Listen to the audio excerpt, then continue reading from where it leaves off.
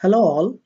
In this video, we are going to discuss on how to search a dog in the dogs management system.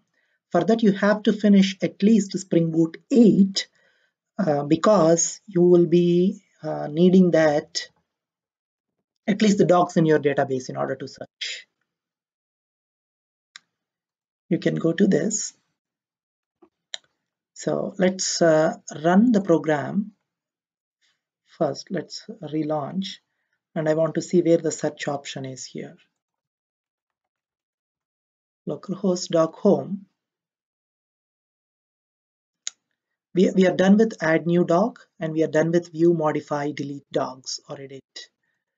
Um, now we would be able to search based on the ID here okay? Our functionality takes only on ID we will be searching by ID we have one dog of seven. Yeah because we didn't write any code. So we would be expecting the same such dog uh, the same um, dog with id 7 okay? So let's go ahead and write our controller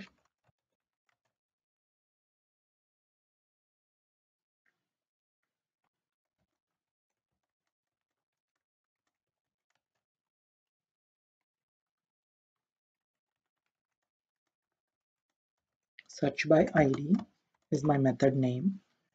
And what you have to pass here you have to pass whatever the id that you want to search for. Okay. And uh, where you will be searching? You will be searching in the database right? So for that you would need dog repo dot find by id and you pass that integer. Okay. And this would be your dog right? Now you find the dog. You have to write or else here. You remember from the last time.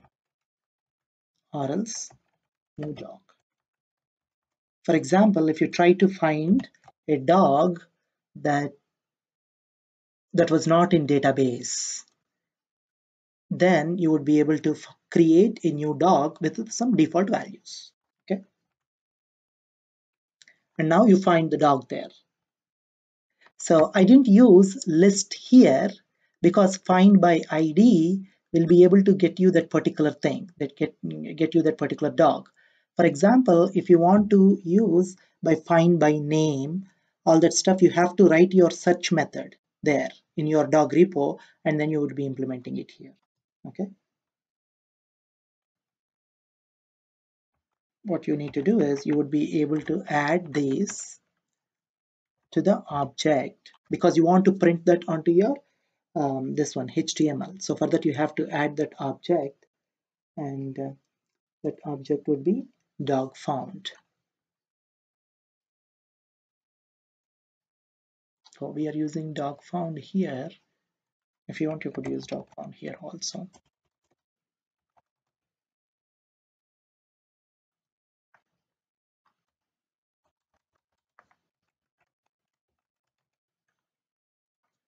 Just be consistent with the variable names.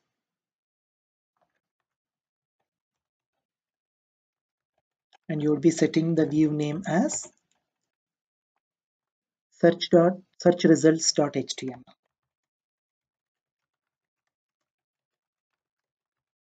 search results and then return mv okay.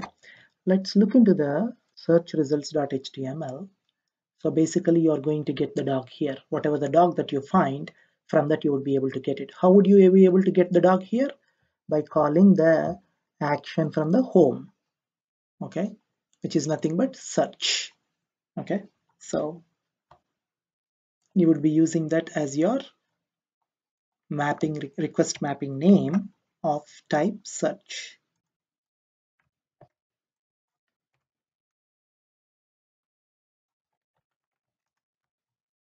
Okay so this is a simple code that we wrote.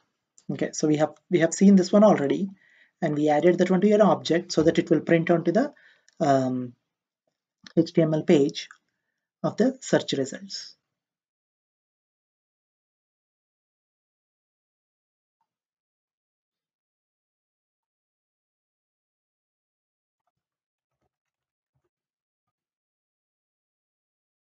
localhost of dog7 search you would be able to see the id 7 this one. So if you want to search for 77 which is not existing right? So we know that 77 is not existing we have only 7 so we have 77 search so which you would be able to get id with all the default values. You will not be able to get even uh, 77 because you're creating a new dog object completely with of uh, this one okay? With all the default values that you would get. For integer it's always zero right? So this is way that you would be able to search the uh, dog objects here okay? So this is so this is very simple that you would be able to write on your own easily. Um, the, with this we are completed with uh, all the CRUD operations in uh, dogs management system okay? Thank you